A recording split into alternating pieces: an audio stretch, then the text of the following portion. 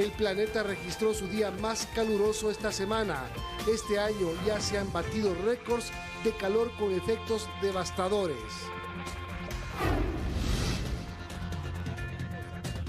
En deportes se sortearon los octavos de final de la Libertadores y Sudamericana. Además, Independiente vuelve a ganar en la sub-20.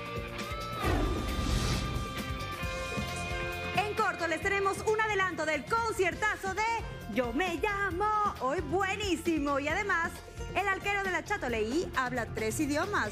¡Wow! También se lo contamos. Teleamazonas presenta 24 horas con Milton Pérez y Diana León. Empezamos la comisión que analizó la situación del Fondo de Pensiones del IES, presentó su informe con las propuestas de reforma que se deberían realizar para darle sostenibilidad.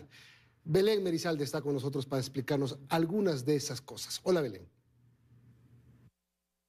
¿Qué tal? Así es, la comisión presentó estas propuestas que finalmente no son vinculantes, pero que sí constituyen un insumo para que la sociedad las empiece a debatir. Los comisionados señalan, por ejemplo, que se debe separar el seguro de salud del seguro de pensiones y que cada uno tenga su propio gobierno. Ahora sí, concentrándonos en el fondo de pensiones, la propuesta plantea que se mantenga la aportación del 11,06%, pero que ésta se aplique también al décimo tercero y décimo cuarto sueldo. Esto porque los jubilados cobran 14 pensiones en total. También se propone que para jubilarse se mantengan los 60 años, pero se incremente el tiempo de aportación gradualmente. Por ejemplo, si actualmente usted se jubila con 60 años y 30 de aportación, en 10 años el cambio sería 60 años de edad y 35 de aportación. Respecto del cálculo para la pensión, se propone que ya no solo se tomen en cuenta los cinco mejores años, sino que estos vayan incrementando hasta llegar a 30 años de mejor remuneración. La transición sería lenta y tomaría 25 años. Por ejemplo, en el primer año de vigencia de las reformas, las pensiones se calcularán con base a los seis mejores años de remuneración, en el segundo año con los siete mejores años y así sucesivamente. Se propone también que la jubilación patronal de nuevos contratos sea convertida en un plan de ahorro para la vejez, en donde el empleador aporte obligatoriamente 1% a ese fondo y que en caso de que el empleado llegue a salir del lugar de trabajo pueda llevarse consigo el monto acumulado. Hay más iniciativas que se plantean y que les contamos en el siguiente reportaje. Después de seis meses de trabajo, la comisión que formó el gobierno para que analice la situación del Fondo de Pensiones del IES presentó el informe con algunas recomendaciones. Estamos entrando en una zona de peligro en la cual no va a haber dólares para pagar las pensiones de los jubilados. Entre las propuestas están que los trabajadores formales independientes sean obligados a afiliarse al IES. Si tú facturas para poder renovar tu RUC y seguir facturando, vas a tener que demostrar que estás afiliado.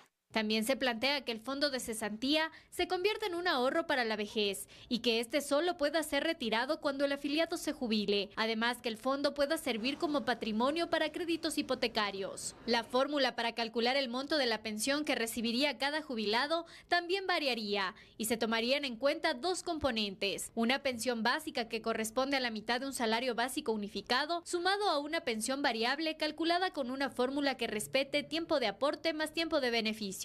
Actualmente en el Ecuador, los jubilados reciben un 90% del salario que tenían cuando estaban activos, una de las tasas más altas del planeta según explica la comisión. En el mundo esa tasa bordea el 60%. Con relación a los fondos de reserva, se propone que la mitad del aporte, es decir, el 4%, se destine obligatoriamente a cubrir necesidades de consumo del corto y mediano plazo, mientras que el 4,33% restante podrá continuar siendo mensualizado y el trabajador podrá elegir la entidad financiera que gestione sus recursos. Estas reformas, de ser aceptadas y ejecutadas, entrarían en vigencia gradualmente. Alguien que le falta todavía la mitad de su tiempo para llegar a la jubilación, la jubilación de él va a ser 50% del actual sistema y 50% del nuevo sistema. Las propuestas requieren de una gran reforma legal y un amplio debate social, explican. A través de la Asamblea, el gobierno, aprobamos o no aprobamos esto. El sistema requiere que se lo cambie. Según las estimaciones de la comisión, el fondo de pensiones podría entrar en terapia intensiva en 2027 si no se toman medidas ya. En otros temas, en Galápagos, una turista norteamericana fue atacada por un tiburón mientras hacía snorkel en el islote Mosquera. Afortunadamente sobrevivió y fue trasladada vía aérea a Guayaquil para continuar con su recuperación. Estas imágenes son del momento en que la turista norteamericana Delia Yarte llega al canal de Itabaca del lado de la isla Santa Cruz tras haber sido mordida por un tiburón mientras hacía snorkel junto con otros turistas en Islote Mosquera. De repente sentí pues como un golpe entonces no me di bien cuenta de, de qué era, pero como cuando estaba nadando sentí la pierna más entumida y un poco más pesada. Entonces digo, vi que llegaba un pelícano cerca de mí y cuando volteé ya vi que había sangre. Fue transportada de emergencia al Hospital República del Ecuador en Puerto Ayora, donde ingresó por emergencia para ser operada.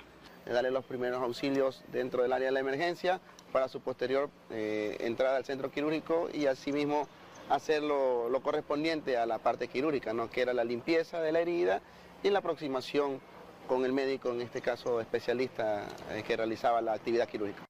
La intervención fue todo un éxito. Salvaron su pierna derecha. La paciente se encuentra estable, pero por seguridad será trasladada a Guayaquil para su recuperación. Andrés Vergara, guía naturalista de Galápagos y especialista en snorkel, da a conocer que este tipo de ataques de tiburones a humanos son muy raros. Es un evento esporádico en el mar hay predadores, sí, y lastimosamente eso acaba de pasar. Debemos evitar nosotros naturalistas y en estos viajes hacer eh, esa actividad de snorkeling en aguas que no, que no son poco profundas. No se conocieron las causas que provocaron el ataque, pero según registros históricos, los ataques a tiburones en humanos son mínimos. Delia se recupera satisfactoriamente de una operación inédita en la isla Santa Cruz. Y en horas de la tarde, la turista estadounidense mordida por el tiburón en Galápagos arribó a Guayaquil en un avión naval para ser intervenida en una casa de salud. A su llegada, la mujer fue trasladada en una ambulancia acompañada de sus seres cercanos y varios especialistas, quienes la, quienes la tratarán para su recuperación.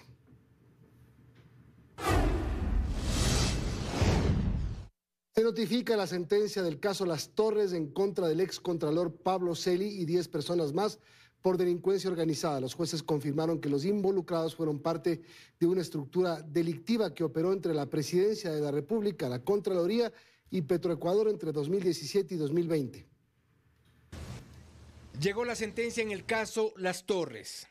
Los jueces nacionales Walter Macías, Adrián Rojas y Mauricio Espinosa han ratificado por escrito la sentencia dictada el pasado 10 de febrero de este año y con ello la condena de 13 años y 4 meses de prisión en contra del ex Contralor General del Estado Pablo Celi, el ex gerente de Petroecuador Pablo Flores y entre 7 y 9 años para 9 personas más, como supuestos integrantes de una estructura dedicada a la corrupción y lavado de activos. Según el texto de la sentencia, la Fiscalía ha logrado probar que esta organización operó desde tres instancias estatales entre el 2017 y 2020. Secretaría de la Presidencia de la República, Contraloría General del Estado y Petroecuador. Dice el texto. Los hechos probados han permitido declarar que los procesados Pablo Celi y Pablo Flores, mientras ostentaban sus funciones como servidores públicos, estuvieron a cargo del mando y dirección de las actividades de la estructura de la delincuencia organizada, conformada para exigir beneficios económicos mediante amenazas a la empresa No Limit. Pablo Encalada, abogado del ex de Petroecuador, Pablo Flores, resta peso al argumento de fiscalía. La acusación de fiscalía es que Pablo Flores es el líder de una organización criminal. ¿No es cierto? Es decir, hay una estructura, un, grupo criminal, insisto, como los Chone Killers, como el Chapo Guzmán, ¿no es cierto? Y que a la cabeza está Pablo Flores. Esto es solo la mención de esto ya es un sinsentido. Lo cierto es que la sentencia ubica como autores del delito a Pablo Celi y Pablo Flores, en calidad de colaboradores, a Esteban Celi, hermano del excontralor, Adolfo Augusto, Natalia Cárdenas, además de Andrés Luque, Álvaro de Guzmán, Daniel Orellana, Ángelo López, Silvana Rodríguez y Marta Barresueta, quien se acogió a una cooperación eficaz. Y es que Flores fue señalado por solicitar dinero a cambio de tramitar el pago de una factura a la empresa No Limit. La acusación de fiscalía es una acusación de tentativa de, soborno, es decir, que supuestamente Pablo Flores habría solicitado soborno a través de terceras personas, pero que ese soborno finalmente no se consumó. Y con eso es líder de una organización criminal y condenado a pena de 13 años de cárcel. No obstante, se trata de una sentencia de primera instancia y restan recursos legales que no se descarta puedan revertir este fallo.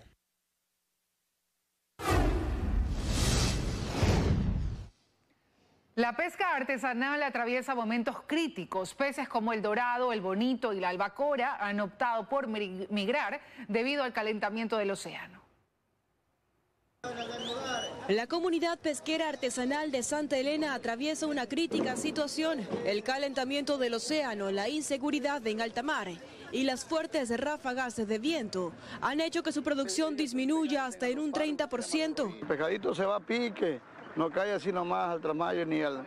Ahorita este calamar se abollado por el agüita mismo que está un poco caliente. Una vez que vamos a sacar los pescados ya están cocinada la carne del, agua que está caliente. Las altas temperaturas del mar hacen que los peces migren producto de la disminución de oxígeno y fitoplancton, es decir, el alimento de estas especies. La albacora, los dorados. Los, banderas, los gachos, los picudos y no, no se ha visto ahorita este pescado. De acuerdo a oceanógrafos, la temperatura óptima del océano, al menos en esta época del año, debería ser de 25 grados. Sin embargo, al frente de las costas de Santa Elena, sobre todo 7 millas mar adentro, la temperatura del mar se encuentra 2 grados por encima de lo normal. Estamos hablando de 27,8 grados Celsius. Entre tanto, el sector pesquero artesanal se reunió la mañana de este miércoles con el Ministerio del Interior para llegar a acuerdos tras la inseguridad que se vive en alta mar. No hay la Marina de apoyo en las calidades pesqueras.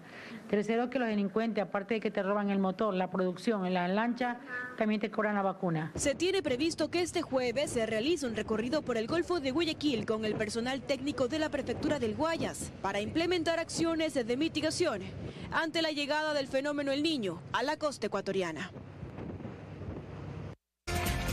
Seguimos, inició la capacitación a los miembros de las juntas receptoras del voto a nivel nacional. ¿Cuántos son y cómo se desarrolla este proceso? Daniela Valencia nos cuenta ahora mismo. Daniela. ¿Cómo están amigos? En total son 279.244 los miembros de las juntas receptoras del voto que deberán recibir capacitación desde este 5 de julio. Para que se desarrolle este proceso hay 557 capacitadores habilitados a nivel nacional. En Pichincha se capacitará a 48.244 integrantes de 6.892 juntas. En esta provincia se han habilitado tres puntos de capacitación. La sede de la delegación provincial, el edificio del Arcotel y la Unión de Cooperativas de Transporte de Taxis de Pichincha. ¿Qué ocurre en caso de que el ciudadano no asista a esta capacitación? Pues será sancionado con el 10% de un salario básico unificado, es decir, 45 dólares. Y si no acude el día de las elecciones a integrar la mesa, la multa será del 15%, 67 dólares con 50. Recuerde que si usted es miembro de una junta receptora del voto, podrá recibir esta capacitación hasta el día de sufragio, el próximo 20 de agosto, y este proceso no toma más de 60 minutos. Ustedes siguen con más. Muchas gracias. Gracias a ti. Y la agenda electoral de los candidatos a la presidencia del país continúa en las diferentes provincias. Los ocho binomios buscan ganar electorado en zonas urbanas y productivas. Guayas, Pichín, Chimbabura y Carchi fueron las provincias que este miércoles 5 de julio visitaron los candidatos presidenciales. Fernando Villavicencio inició su agenda en Guayaquil con una entrevista en los estudios de Teleamazonas. Aquí Villavicencio aseguró que su prioridad será el empleo, pues lo considera el eje transversal dentro de su proyecto de campaña. El agroecuatoriano está abandonado y con el tema del niño yo le aseguro que lo que pase con el sector agrícola de este país será peor que la pandemia. Otto Sonnenholzner, por su parte, cumplió agenda en Pichincha. Inició con un recorrido desde la Plaza Central en Sangolquí, donde también visitó mercados, donde expuso su plan de seguridad y la creación del bloque anti-extorsión. Una unidad especial de la Policía Nacional que se dedique a dar casa a esos extorsionadores, a esos vacunadores que filmaditos están por todos lados. A su vez inauguró una nueva sede de campaña y estableció acercamientos con jóvenes y finalizó con un recorrido en el Parque José Navarro. Luisa González, en cambio, direccionó su agenda a Tulcán e Ibarra. En este último punto brindó entrevistas a medios locales, mientras que pasado de las 11 del día, lideró una caravana en Tulcán donde también efectuó declaraciones en medios sobre sus planes de gobierno. Dracu Pérez, por su lado, inició su agenda con recorridos en el centro de Guayaquil, desde donde partió hacia otros sectores populares de la urbe como La Octava y Gómez Rendón. Asimismo, mantuvo reuniones con gremios de profesionales, como el Colegio de Ingenieros. En tanto, Jan Topic hizo recorridos en Machala, Santa Rosa, iniciando en Puerto Gelí y sosteniendo reuniones con líderes barriales y sectores productivos, mientras Javier Herbas efectuó actividades en Quito. 68 exlegisladores de la disuelta asamblea se candidatizaron para intentar regresar. Incluso algunos han cambiado de partido para participar en las elecciones anticipadas. Andrea Samaniego nos cuenta más. Gracias, ¿cómo están? Así es, pese a que la anterior asamblea fue disuelta por muerte cruzada, 68 de 137 ex legisladores intentarán llegar nuevamente al Parlamento. 62 candidaturas ya se encuentran en firme y otras seis tienen procesos pendientes en el Consejo Nacional Electoral y en el Tribunal Contencioso Electoral. Pero ¿quiénes son los que quieren regresar a la asamblea? Pues bueno, la bancada de UNES, de 47 asambleístas que tenían en el periodo disuelto, 45 se van a presentar para estas nuevas elecciones. Sus candidaturas ya se encuentran todas en firme. Entre ellos están, por ejemplo, Sofía Espín, Gisela Garzón, Pamela Aguirre, también ex legisladoras como Marcela Holguín y Viviana Veloz. Ahora, del Partido Social Cristiano, en el anterior periodo tuvo 12 asambleístas y 11 de ellos se van a presentar para estas elecciones anticipadas. Sus candidaturas también se encuentran en firme, listas para estas elecciones. Algunos de ellos son Henry Cronfle, Jorge Bedravo, Esteban Torres, también la ex legisladora Marjorie Chávez y Dayana Pazley. ¿Qué pasa en Pachacutic? De ese partido solo una ex legisladora intentará regresar. Se trata de Isabel Enríquez, ella por Zamora Chinchipe. Pedro Velasco también quiere regresar a la Asamblea por el movimiento Avanza. Además, otros ex legisladores se cambiaron de partido para poder participar en estas elecciones anticipadas, como por ejemplo Sofía Sánchez y Gisela Molina, que antes eran de Pachacutic, ahora van por el movimiento Construye. Lo mismo pasa con el ex legislador Bruno Segovia, que también era de Pachacutic y ahora va por la Alianza Socialista. Luis Almeida, que antes era del Partido Social Cristiano, intentará llegar a la Asamblea de la mano de Centro Democrático. Entre las candidaturas que aún no se encuentran en firme por procesos que se encuentran dentro del Tribunal Contencioso Electoral están, por ejemplo, el de Yesenia Guamaní, Marlon Cadena y Ramiro Narváez, todos ellos de la izquierda democrática, y también Virgilio Saquicela, expresidente de la Asamblea Nacional por el Partido Socialista Ecuatoriano. También hay candidaturas con procesos ante el Consejo Nacional Electoral. Ellos son Egner Recalde y Javier Santos, ambos de la Alianza Acción Democrática Nacionalista. Ahora se espera tener respuesta de estas candidaturas para saber si pueden confirmar su participación en estas elecciones anticipadas. Los nombres ya están, ya solo depende de la decisión de los ciudadanos.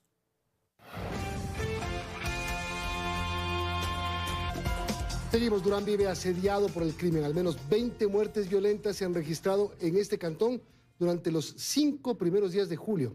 Carlos Acoto está con nosotros para ampliarnos este tema. Carlos. Sí, ¿qué tal? En efecto, escuche esto, el 25% de todas las muertes violentas que se registran en Durán desde enero ocurrieron los primeros cinco días de julio. Este cantón es el escenario de una sangrienta guerra entre Killers y Latin Kings, en medio de una ciudadanía aterrada por los hechos delictivos que ahí son noticia casi a diario. Hicimos un recorrido y les hemos preparado el siguiente reportaje. Este miércoles no hubo clases en esta unidad educativa pública en la primavera 2, pues hay temor. Y es que al pie un hombre fue asesinado por sujetos que lo bajaron de una camioneta para ejecutarlo a sangre fría. Esta se suma a la veintena de asesinatos que se han registrado en los primeros cinco días de julio. En este corto lapso se contabiliza una cuarta parte de las muertes violentas registradas desde enero en Durán, que ya son al menos 80. En las calles hay temor y eso se evidencia en zonas comerciales donde propietarios de negocios han preferido simplemente ya no abrir y los que sí lo hacen han reducido sus horarios de atención y ya no trabajan por las noches. Para no correr peligro, no correr eh, situaciones difíciles, dando esta integridad, tengo que cerrar el local. Otros han puesto cámaras, han redoblado la seguridad para seguir atendiendo. aunque confiesan que la clientela ha bajado y no saben cuánto tiempo podrán soportar. Están también aquellos que ya han decidido tirar la toalla. Yo inclusive puse en venta para tratar de buscar y ir por otro lado. El recreo, los helechos y primavera son consideradas zonas calientes, pues la mayoría de muertes violentas se registran en estos puntos a los que ya incluso algunos taxistas prefieren no ir. Ya no estamos este, prestando el servicio para esos sectores. Los crímenes se han disparado en la última semana, aunque la policía considera que en números generales la situación está controlada aún. Y es que entre abril y mayo las muertes violentas en este cantón se redujeron en un 70% por la presencia de grupos especiales de las Fuerzas Armadas, cuyo trabajo ha terminado en Durán. Pero en medio del repunte de hechos violentos, la policía coordina acciones para retomar el trabajo en conjunto. Está tratando de coordinar para hacer nuevamente un apoyo de ellos hacia nosotros. Por la tarde, luego de estos testimonios y entrevistas, la Primavera 2 fue escenario de otra muerte violenta. El alcalde de la ciudad exhortó al gobierno a tomar medidas urgentes para restablecer el orden en las calles. El presidente de la República, Guillermo Lazo, visitó la ciudad de Ibarra, donde realizó la entrega oficial de viviendas a beneficiarios del Plan Habitacional Social con 5% de entrada a 25 años plazo al 5% de interés. Inaugurando oficialmente el Plan Habitacional Social en Ibarra, el presidente Guillermo Lazo anunció el acceso a créditos en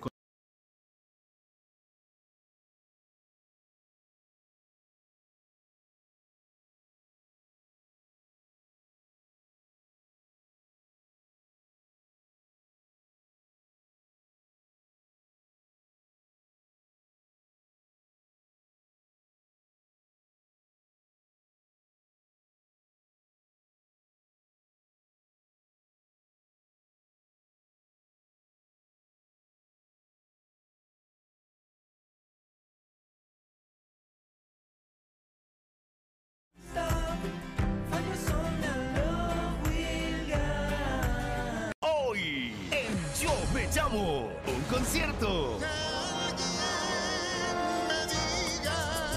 presentaciones que...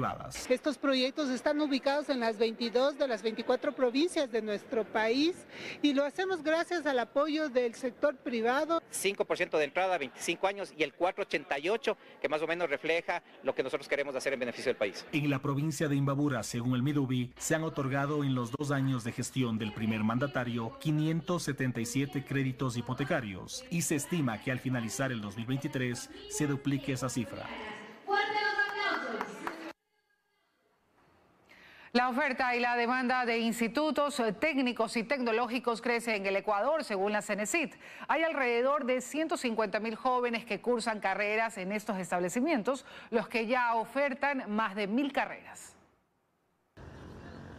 Valeria y Karen son ahora compañeras en la carrera de asistencia en farmacias en el Instituto Cordillera en Quito. Valeria estuvo sin estudiar cuatro años y Karen ocho años. Luego de terminar el colegio, rindieron los exámenes de acceso a las universidades, pero no alcanzaron el puntaje para obtener un cupo. Por ello, optaron por una carrera técnica y ahora están cerca de graduarse. Quería algo relacionado con medicina y no me dieron, pero como ahora hay acceso a las carreras tecnológicas, vine acá y ya mismo estoy por acabar. Existen muchas plazas en donde uno se puede desempeñar y por ello decidí estudiar aquí. Solo este instituto privado ha graduado ya casi a 20 mil profesionales y ante el crecimiento de la demanda, ahora ya cuenta con cinco campus en la capital. Las tecnicaturas, es decir, un técnico superior, un año. El tecnólogo superior, las tecnologías superiores duran dos años y las tecnologías superiores universitarias duran tres años. Según información que maneja la CENESID, al momento existen 55 institutos técnicos y tecnológicos públicos y otros 100